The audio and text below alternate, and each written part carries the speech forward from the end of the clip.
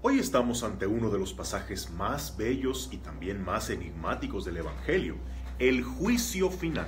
Sí, cuando el Hijo del Hombre vendrá como rey y separará a los de la derecha, a los de la izquierda, esta es mi derecha, esta es mi izquierda, como las ovejas de los cabritos, y allí ya no sabemos los que socorrieron al hambriento, al sediento, al desnudo, al forastero, al encarcelado, al enfermo, pasan para este lado, mientras que los que ignoraron la necesidad de su prójimo pasan para este lado.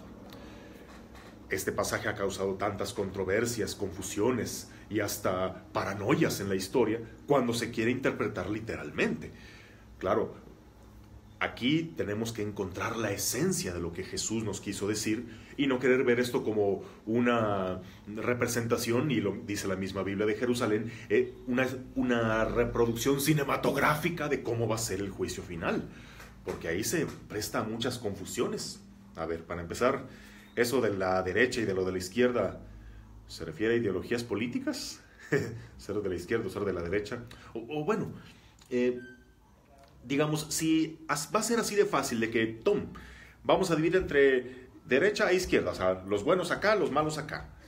A ver, una madre soltera, ¿tú para dónde la mandas? ¿Es buena o es mala?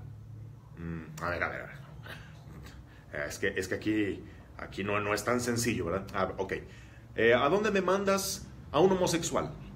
Mm, eh, eh, no, no, pero es que, ¿cómo nomás lo vas a mandar? No, no, a ver, espérate. A ver, ¿a dónde mandas a un padrecito? Ah, no, pues para la derecha, no, pero, pero, a ver, a ver, no por el hecho de que tenga una investidura ya vas a suponer que entra. Ah, ¿verdad? O sea que tú ves que no es tan sencillo simplemente dividir entre buenos y malos. Y, y bueno, la pregunta, ok, levanten la mano aquellos que alguna vez han socorrido a un prójimo necesitado. No, pues todos. Ah, ok, entonces van para la derecha. Ahora, levántenme su mano todos aquellos que alguna vez pasaron de largo ante un prójimo necesitado. Ups. Pues eh, yo creo que... Ah, entonces te vas para la izquierda. Oye, pero ¿cómo? Pues, todos alguna vez hemos mostrado un gesto de misericordia y tantas otras veces que hemos pasado de largo ante el hermano.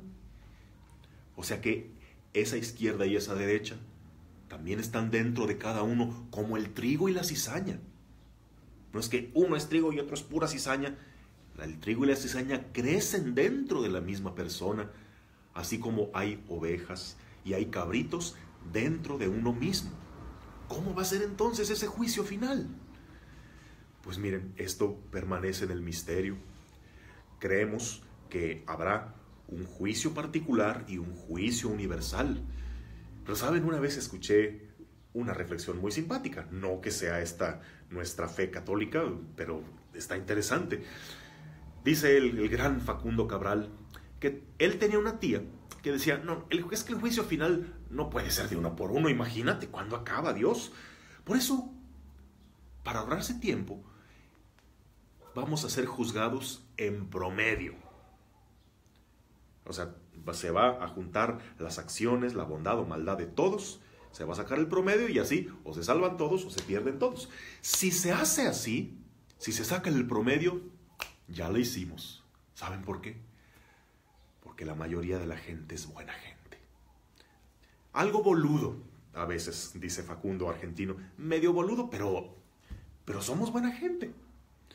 Claro que pues, el mal se nota más, porque el mal es más amarillo, más escandaloso, hace más ruido, una bomba que una caricia. Pero por cada bomba que explota hay millones de caricias que nos crean, que nos remodelan todo el tiempo.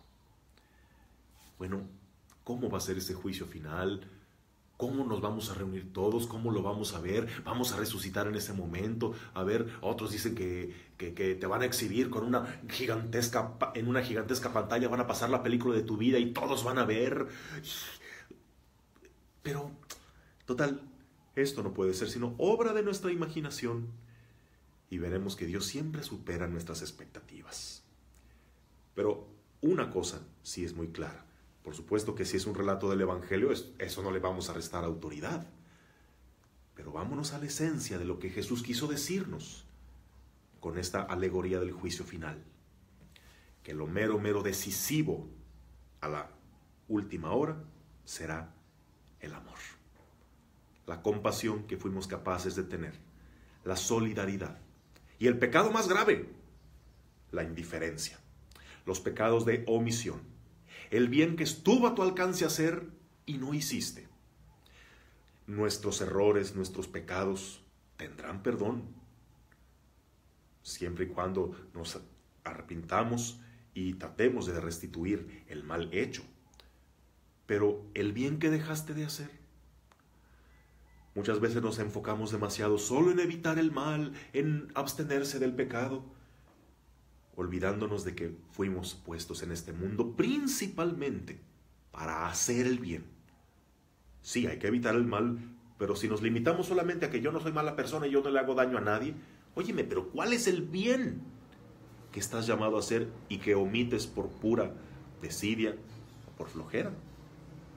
Nadie pone en duda que tú seas buena persona, pero esa buena persona que salga y se manifieste en obras de misericordia. Vamos preparando ese examen final vamos enfocándonos en lo que realmente va a tener peso. Que no pasemos indiferentes ante el hermano que nos necesita y tratémoslo como trataríamos al mismo Jesús si nos lo encontráramos. Porque esta es su promesa.